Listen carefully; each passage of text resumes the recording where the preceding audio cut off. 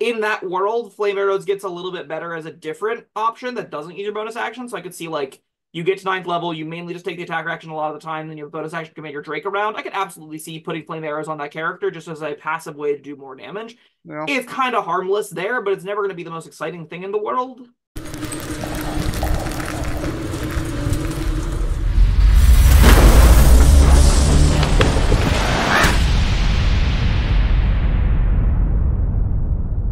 Hello, friends. Robert Bevan here, author of the Caverns and Creatures series of comedy, fantasy novels, and short stories. With me is Sam West, and today we're talking about the spell Flame Arrows. Uh, this is What what what was that? it was an arrow that caught on fire. That Even with the name, uh, having announced the name Flame Arrows, I did not get that. So whenever you have this much genius, it might be hard for other people to recognize, but You could shoot an arrow, or all right, I could have, I guess. Yeah. there you right, go. there we go. This That's is got half of level- it covered. Go ahead, go ahead. This is a third level spell. It's for druids, rangers, sorcerers, wizards, and artificers.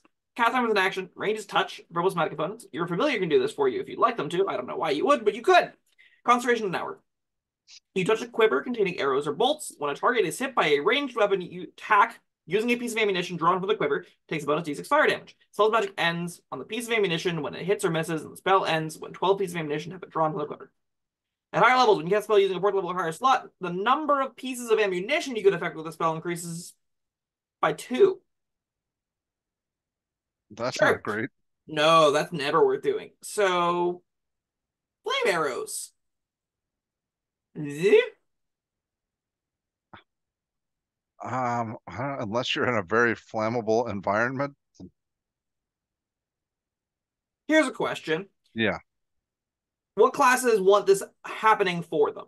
That's an easy place to start, right? Rangers like it, their quiver being on fire. Fighters like their quiver being on fire. Rogues kind of like their quiver being on fire. That's At three, times. right? Are there other classes that are actively using bows all that much?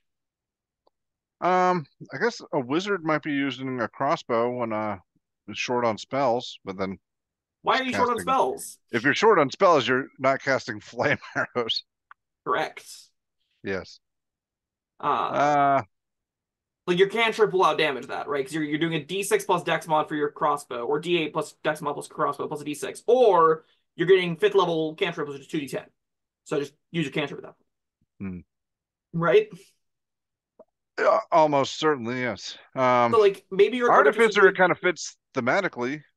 Yeah, I could see like you're doing longbow or crossbow stuff, and then you're like, you know, extra attacking with battlesmith maybe. So then you have your companion that's defending you, and you're like basically a metal ranger. I could kind of see that working out. Um, But I mean, now but artificers and rangers are half casters. So when when are they getting this level third, uh, level three spell, ninth level? That's uh, this is this is not one that ages like a fine wine. No. The the big point of problem to me too is the characters that would want to turn it on for themselves have other concentration effects that can improve their on hit damage. Namely, Hunter's Mark is the ranger option that like gives you bonus d6 damage on hit. Now you use your bonus action to maneuver that around. So there is some tension there. Maybe you don't want to have to move your maneuver around with your bonus action, so you use this, then you get 12 shots of a d6 bonus damage. 12 shots of bonus d6 damage is if all of them connect, fine it's slightly better damage than a fireball on one target for a Hmm. third level spell. But again, you'd concentrate on the whole thing. You might be able to get that off in like three rounds, especially if you're doing crossbow expert stuff. So maybe that's something. But you, you do have to hit every time. You do have to hit every time. Uh, there's another spell that exists called Elemental Weapon.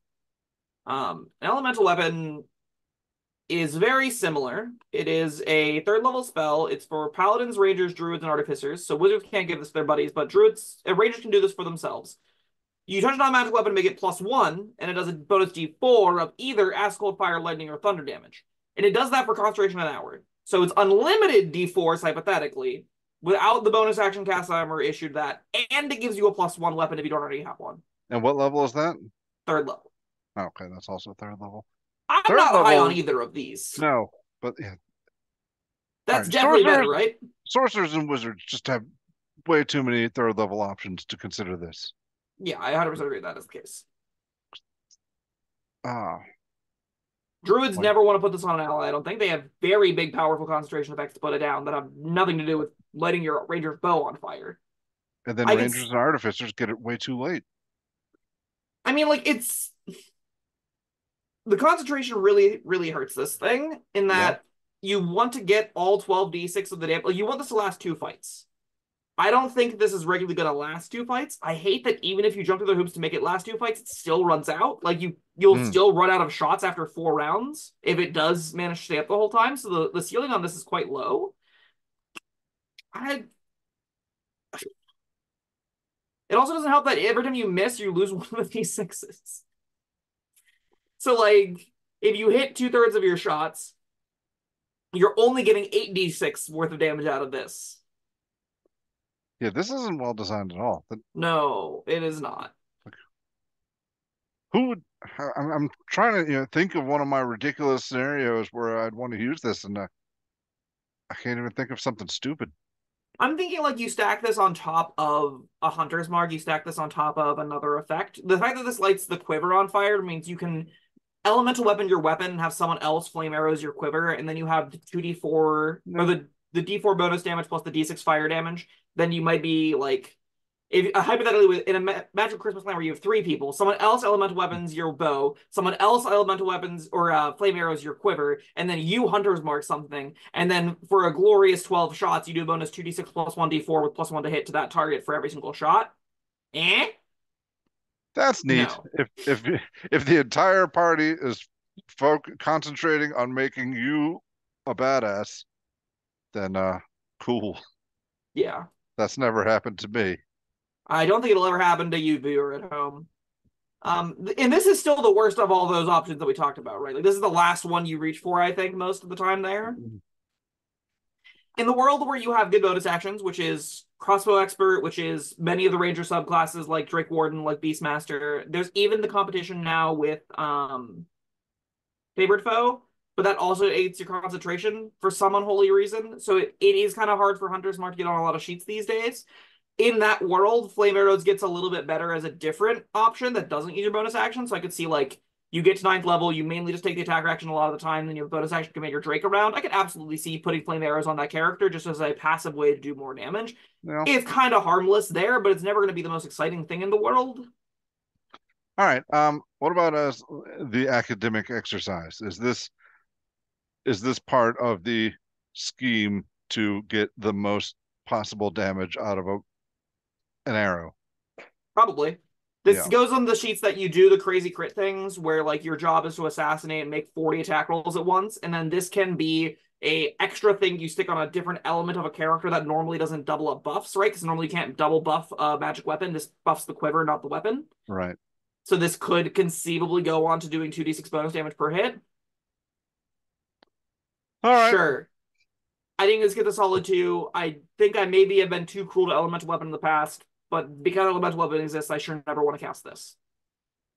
And I don't often want to cast that, so Well, I'm, yeah, it hurts giving this one a two, but I guess it technically does something. I can imagine there being a decent amount of rangers out there that it's fine. You just you cast this before a fight, you wander around a dungeon for an hour or two, or for uh, 30 minutes, then you get into an encounter. The first six shots do bonus d6 damage. Sure. Yeah. That's pretty harmless, right? It doesn't cost you any actions in combat. Cost you a third level spell. Have a Uh, lot of great ones of those, at least. I mean, you could summon Beast, but maybe you're just in the player's handbook or something. Yeah. All right. Well, that's uh, there. I feel better about my two territory. Then, congratulations, Flame Arrow. Yeah, if you are playing out of the player's handbook, uh, just grab Elemental Weapon instead, because that's also in the player's handbook, but it was added to the Ranger spell list and Tasha's Cauldron of everything. So it's yours now. Go for it. Yay. All right. Well, that was Flame Arrows. Thank you, Sam, and thank you everyone for joining us. Let us know your opinions down in the comments below, and uh, yep, like, subscribe, and we'll see you next time. Goodbye.